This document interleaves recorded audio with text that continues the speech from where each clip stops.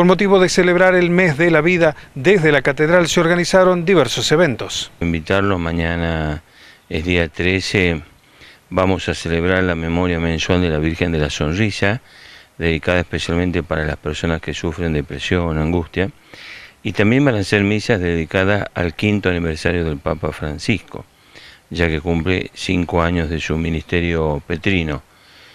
Invitarlos también el jueves 15 que tenemos una conferencia a cargo del padre Gerardo Echevarren, un uruguayo doctor en filosofía que va a plantear el sentido y el significado del sufrimiento humano, que es una, una problemática que atañe a toda la condición humana y que muchas veces cuando viene la cruz a veces es difícil llevarla. Y desde ya invitarlo el 19 de marzo, que es día de San José, eh, eh, abrimos eh, el espacio eucarístico, es un templo eh, moderno que hemos hecho en un costado de la catedral para la adoración eucarística.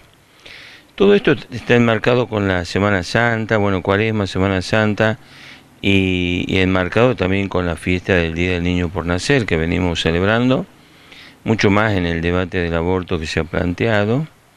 Por eso eh, durante toda la semana tendremos actividades internas de trabajo, de estudio, de reflexión, especialmente durante la novena, para poder reflexionar sobre este tema que es acuciante sobre el derecho a la vida. Todas estas actividades se van a llevar a cabo aquí en la catedral. En la catedral, sí.